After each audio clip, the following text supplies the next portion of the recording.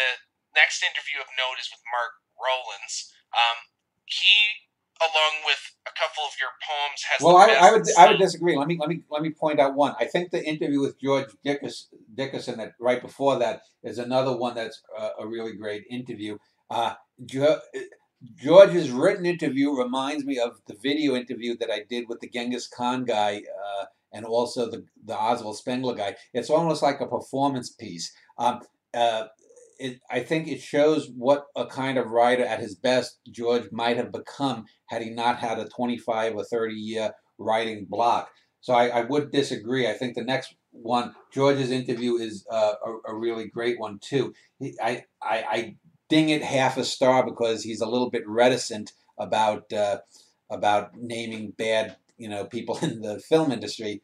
Well, George Dickerson was a notable interview. I was just skipping that one to, to get to Rollins don't- because don't this is a do that. this is a um, an interview that that sparked one of another another common trope throughout your interviews, which is the River of Selves. Hmm. And the River of Selves is a very nice condensed version of how a person progresses. You've also has have several of your poems where you'll talk about how every three or four years the body's cells completely alter and change the person for what they are, and it you mean in a metaphorical and a literal sense. Mm. This is this is uh, uh, uh, not just an interview, but also doubles as a debate because there are some philosophical queries where you'll disagree with him, and it's really back and forth. This one feels uh, very conversational, and I also wanted to mention that Rowlands has okay. So we're talking about Mark Rollins. I did skip the George Dickerson interview. Yeah. It's it's good that you, you mentioned him too because it is a worthwhile interview.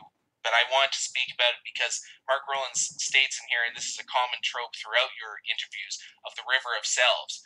You have a few of your poems too that kind of evoke that in how the cells change every three or four years and how a whole human is different after that. Yeah. Mark Rowlands' interview too also doubles as a debate, and I think it is the most conversational way. There is a later one that we'll get to later, but the the it's the most conversational, and even when you're disagreeing in philosophical senses, you really get an insight into both of your minds. This is this is in a way a good portrait of yourself too, uh, and how you think in philosophical terms. And Mark Rowland's also a terrific writer in the sense that he can take something like it states here in the intro that he goes from Arnold Schwarzenegger and Life's Meaning to Evil and Sisyphus. Uh, he'll take something that's very low, like a silly action film, and he'll raise it to a higher standard and he'll communicate it very well. So he's a excellent philosophical writer, and I put him even above someone like Nietzsche, perhaps i- at his height, because the philosopher and the wolf is the best distilled, uh, purely philosophical take on any philosophy that I've read. It's the most well written. It has the most posy, um, and it is it, it is an excellent take on all sorts of things, and it's most multifaceted as well.